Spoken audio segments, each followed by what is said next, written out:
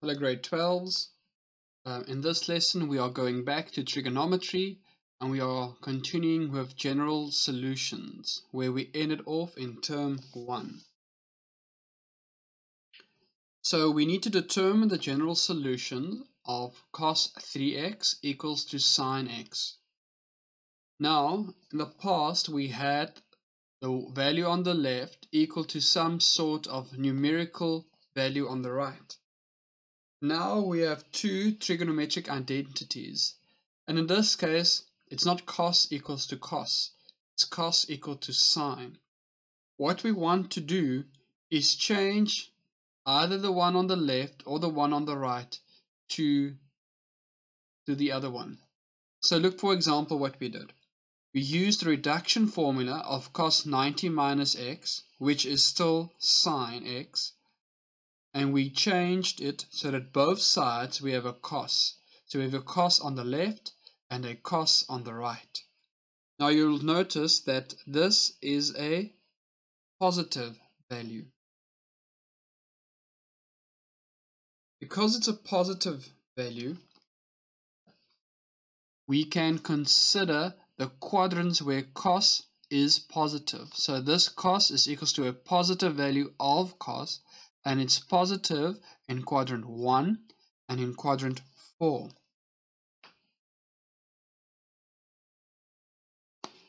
So for quadrant 1, instead of finding a reference angle, what we will have then is 3x is equals to 90 minus x, that, that um, angle size, plus k times 360, which is the period for cos.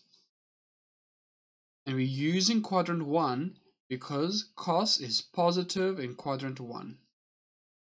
Now what we do is we simply simplify it. I bring the x over to the one side. So I have 4x equals to 90 degrees plus k times 360. And then I divide everywhere by 4. So 4x divided by 4 will give me x. 90 degrees divided by 4 is 22 and a half. And 360 divided by 4 is 90. And then k must be an integer value.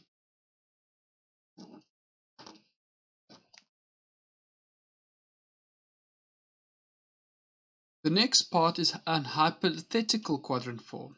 It's the easiest way to identify which values to use.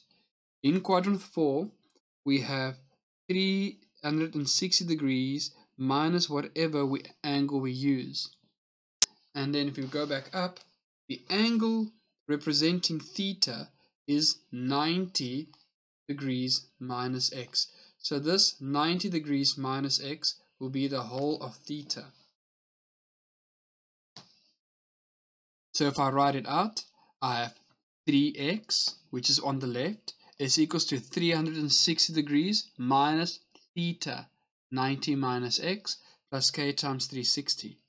Now I remove that bracket, therefore it will become 270 degrees plus x, so that minus and that negative there will create a positive x. Move everything over to the, or move the x's over to the left and keep the uh, numbers on the right I have then 2x is equals to 270 degrees plus k times 360 and I divide everywhere by 2 so x is equals to 155 degrees plus k times 180 now these two are my two possible solutions for x. I have x can be 22 and a half degrees plus k times 90 degrees or x can be 155 degrees plus k times 180 degrees to satisfy the equation given given at the start. In our next example, we have sine 3 theta plus 30 degrees is equals to negative cos 2 theta. Now I have again two different ident trigonometric identities on the left and on the right and I can choose to what I want to change it to. we are going to change the one on the right. So I have sine 3 theta plus 30 degrees is equals to sine 90 degrees minus 2 theta. This is the reduction formula which we learned, or not the reduction formula, this is the co-function which we learned in grade 11 and we simply apply it to change cos to sine. Now that I have both sides, I have a sine, I look at that negative and that negative indicates the quadrants which we will use. So this will be quadrant 3 and quadrant 4 because sine is negative in quadrant 3 and quadrant 4. So in quadrant 3, we have 180 degrees plus whatever angle we have. So we have 3 theta,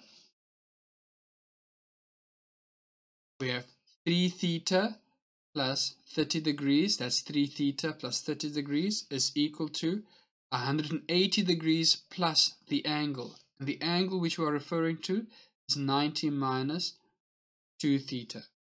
So if this is angle A altogether, in quadrant 3 it's 180 degrees plus whichever angle. And that A is represented by 90 minus 2 theta. Then I simplify, move all the variables to the left and the numerical value, values to the right, divide everywhere by 5. Notice I also divide the k by 5. And I put the restriction for k at the end. For quadrant 4, we will have 360 degrees minus the angle. The angle is the same, so it's 3 theta plus 30 degrees, what we had on the left, equals to 360 minus, that gives us quadrant 4, 90 degrees minus 2 theta plus k times 360. I simplify again by removing the brackets, move variables to the one side, numerical values to the other, then I have theta is equals to 240 degrees plus k times 360. I do not have to divide because I only have one unit of theta. And this is my second solution for theta, and that is my first solution for theta. In our next part of the lesson or the content, we are going to identify when identities are undefined. Now, identities are undefined at two places when the denominator of any fraction is equal to 0, and secondly, for tan theta, where theta is 90 degrees and multiples of 90 uh, multiples of 180 added to that continuously because that is the period of the tan graph graphically it will look like this um, this is a normal tan graph and we know that tan is undefined at 90 degrees. Here's our example. When is this identity undefined? So it will be undefined for values of tan and values of sine 2 theta equal to 0.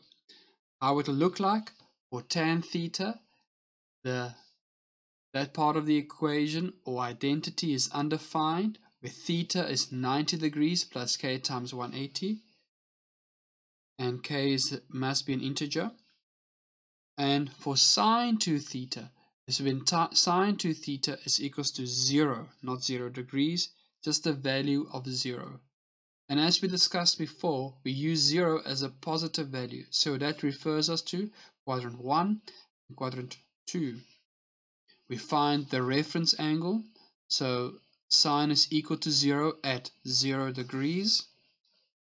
And then we use it for quadrant 1 and quadrant 2.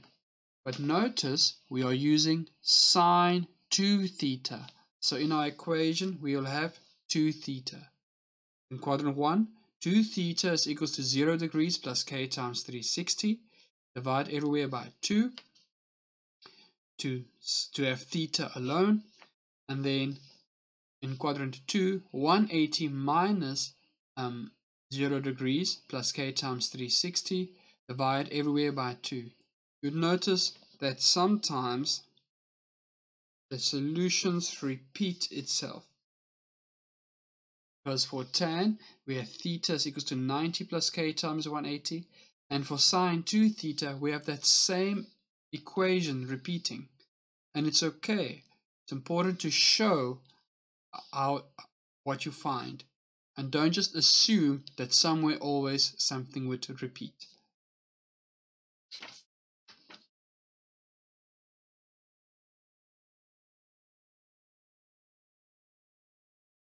In our last example, we want to determine for which values of A will this identity be undefined.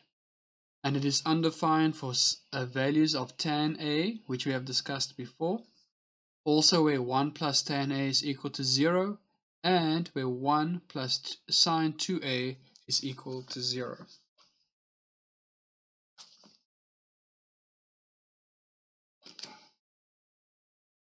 So for tan, tan A is undefined, where A is equal to 90 degrees plus K times 180. Remember this comes from the function or the graph of tan, which is undefined at the asymptote of 90 degrees.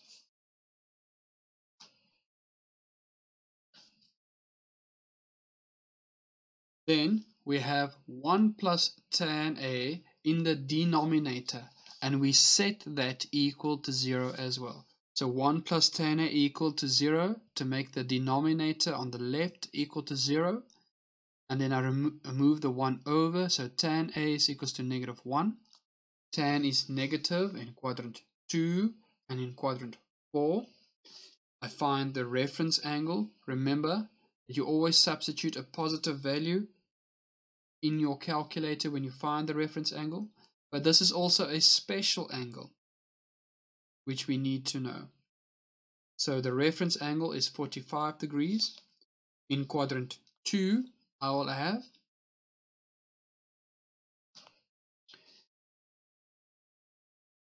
In quadrant 2, I will have A is equals to 180 degrees minus 45. That places me in quadrant 2 plus k times 180, which simplifies to 155 degrees plus k times 180, where k is an integer. For quadrant 4, because tan is negative in quadrant 4, we have a is equals to 360 degrees minus 45 degrees plus k times 180.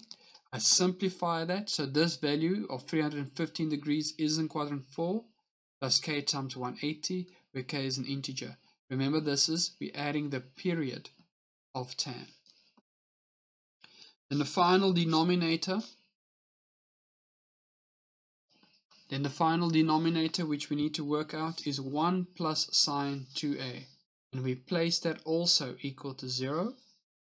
And then sine 2a is equal to negative 1. Sine is negative in quadrant 3 and in quadrant 4.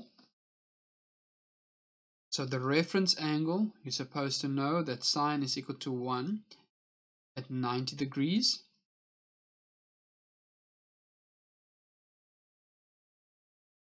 Then for quadrant 3, I have 2a, remember it's 2a equals to 180 degrees plus k times, we have 2a is equals to 180 degrees plus 90 plus k times 360. I simplify and divide everywhere by 2 and I to in order to have the value of a alone. I do the same for quadrant 4. And you notice that this solution repeats.